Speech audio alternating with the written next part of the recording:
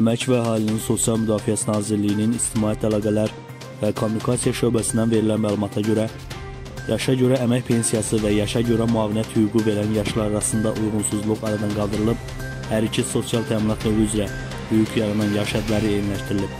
Əgər bu ilin əvvəlinədək qadınlar yaşa görə pensiya hüququ olmadıqda yaşa görə müavinət hüququnu 62 yaşda, kişilər isə yaşa görə pensiya hüququ olmadıqda isə 67 yaşda qazanırdısa, Bu ilin əvvəlindən bu yaş həddi pensiya hüququ yaranan yaş həddi ilə eyniləşdirilib.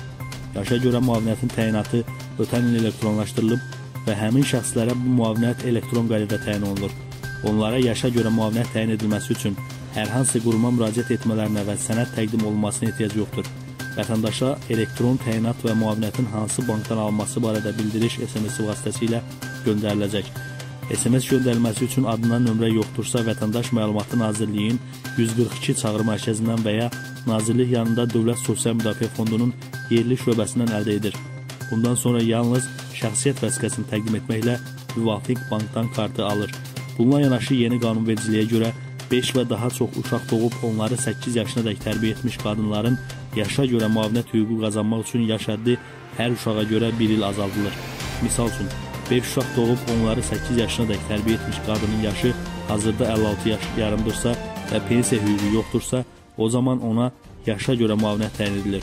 Uşaqların sayı 6 olduqda bu yaş göstəricisi 55 yaş yarım, 7 olduqda 54 yaş yarım və s. yaş həddinə enir.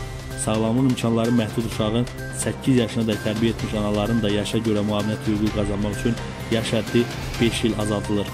Eləcə də ana vəfat etdiyinə və ya ana ilə nicaha xitam verildiyinə yaxud ana valideyni hüququndan məhrum edildiyinə görə 5 və daha çox uşağı növbəti nikah bağlamadan tək başına 8 yaşına dək böyüdən ataların, habelə 5 və daha çox uşağı övladlığa götürüb tək başına 8 yaşına dək böyüdən ataların, həmçinin 5 və daha çox uşağı 8 yaşına dək böyüdən qəyyum kişilərin yaş həddi 5 il azaldılmaqla yaşa görə müavinət hüququ yaranıb.